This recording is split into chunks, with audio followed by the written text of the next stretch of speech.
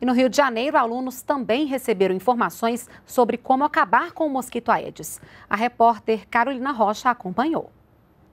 A atenção dos alunos é para o novo professor que se veste de uma maneira diferente. A Marinha do Brasil visitou essa escola municipal em São João de Meriti, no Rio de Janeiro, que ensina mais de 200 crianças com autismo. A aula especial foi sobre como combater o mosquito que causa um grande problema. Não pode água parada, não caixa d'água aberta. Se o nome do mosquito pode parecer complicado, as maneiras de acabar com ele são bem mais simples. Foi o que professores, pais e estudantes, também de outras escolas municipais da cidade, aprenderam na aula do médico veterinário, o segundo tenente Rodrigues.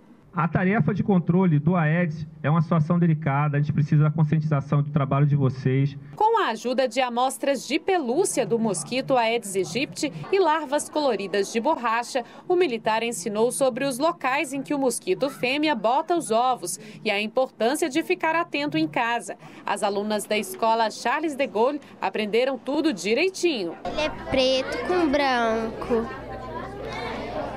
E ele ele tem pintinhas brancas. E quais as doenças que o Aedes aegypti provoca, hein? Zika, é... esqueci o dengue e chikungunya.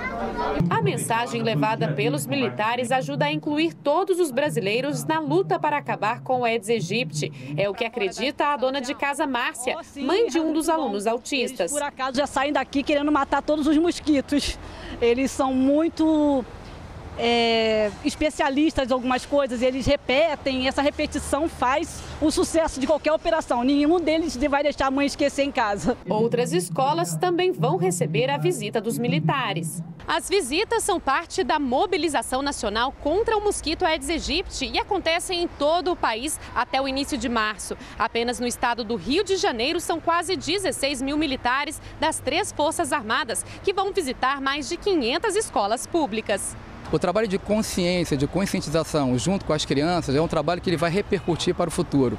É um trabalho que vai levar essa mensagem, essa mensagem para as suas respectivas casas, as suas residências, para que possa haver no futuro correções de atos que, infelizmente, às vezes a gente ainda não vê, né? ou seja, de, de descuidado ainda com, com, o nosso dia a dia e que facilite essa, essa proliferação. Quando você, você junta civis e militares, é, a, a força é muito maior e o respeito também. Então é uma aula extra diferenciada, é uma aula para a vida, né? para a sobrevivência, para a saúde humana. Isso para a gente tem uma importância singular.